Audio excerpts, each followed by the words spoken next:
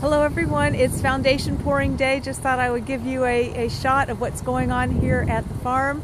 Uh, the Food Hub Foundation is being poured for the walls. It is really, really cold, but we wanted to get the cement in today because uh, weather's supposed to drop below zero tomorrow. So uh, hope everyone's having a good time. We certainly are. And uh, have a wonderful time. And again, thank you for everything. We appreciate all of your support. Bye-bye.